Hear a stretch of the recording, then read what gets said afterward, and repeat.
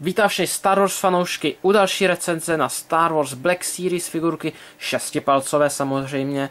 A máme tady Hanna Sola z epizody 7 a já osobně si myslím, že tato figurka je jedním z nejlepších stvárněním Hanna Sola jakožto Harrisona Forda, nebo Harrisona Forda jakožto Hanna Sola, protože opravdu ten head sculpt se povedl, uh, starý Harrison Ford, v úzovkách starý, jsme je ošklivý, uh, vypadá opravdu tak, jak by měl, uh, je tam vidět v tom head sculptu ten ušklebek, všechno a postavička je opravdu výborná, je dobře ohebná, uh, a co se týče detailů, je hodně povedená.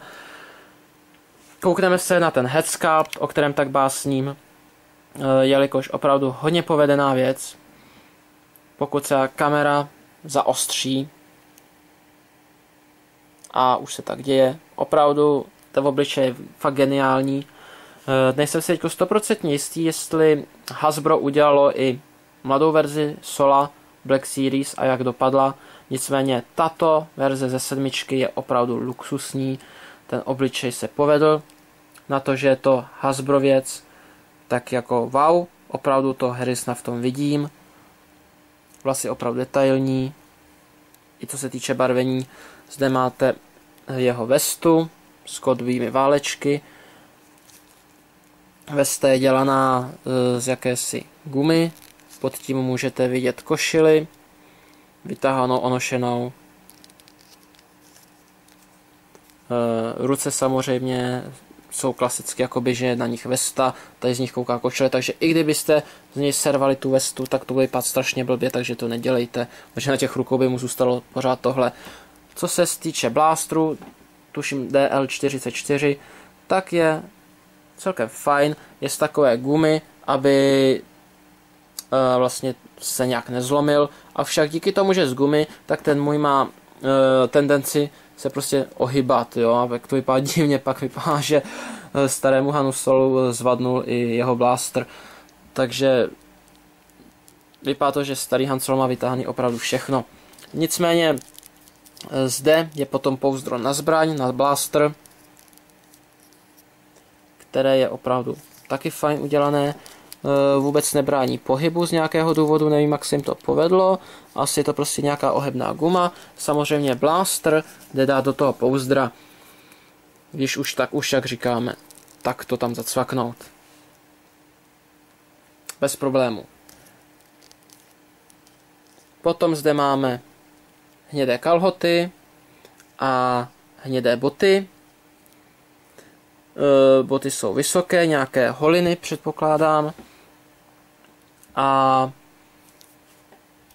to je asi tak všechno v popisu. Ta figurka není nějak komplexní, Han nemá kdo ví jaké extra hadry, ale můžeme se podívat ještě samozřejmě na celkovou pohyblivost. Lava je samozřejmě otočná o 360 stupňů, částečně pohyblivá nahoru a dolů, dolů až moc koukám, wow. A samozřejmě v, pas, v pase, tady v pase je jeden kloup, který umožňuje otáčet figurku další klop v pasu už není. Nicméně u rukou máte výborný klop, který umožňuje otáčet uh, ruku o 360 stupňů, pohybovat nahoru a dolů. Uh, zde máte kloup v lokti, který umožní ruku ohnout až tak nebo tak. I otáčet o 360 stupňů, to samé v zápěstí, je otočné o 360 stupňů a prakticky ten blaster můžete dát, myslím, že do obou dvou, ale tohle je víceméně na něj dělaný, tato ruka. E, jak vidíte, tak prostě drží jakoby prst na spoušti. Takže tahle ta ruka je opravdu dělaná ten blaster. E, co se týče nohou, tak pohyblivost jedné nohy je celkem fajn, můžete ji pohybovat takto sem, trošku dozadu, do stran. Pak je tu ještě jeden kloup, který umožňuje otáčet nohu.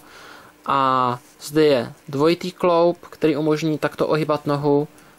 A samozřejmě tady dole je kloup, který umožní ohybat nohu. Takto, takto dopředu dozadu, ale i do stran, což je opravdu výborný tento kotníkový kloup, protože vlastně když ohybáte nohy do stran, tak můžete opravdu dělat zajímavé pózy s tou postavičkou, no většina lidí si to neuvědomuje, ale opravdu tento kloup eh, je hodně užitečný a kolikrát eh, s ním pak uděláte daleko lepší pózy, než kdyby to nefungovalo. Samozřejmě pohyblivost druhé nohy je trochu horší eh, díky pouzdru, které neumožňuje ten pohyb tak velký, eh, kdybyste na to dělali hodně silou, jako tlačili, tak je možný, že to pak urvete. Přeci je to guma, která e, má nějakou omezenou odolnost. Dáme mu zpátky do ruky blaster. Dámy a pánové, tohle je Han Solo z epizody 7. Myslím si, že opravdu hodně povedená postavička. E, jsem rád, že ji mám. Jediné, co mě u ní mrzí, je trošku ten blaster, že je takový gumový a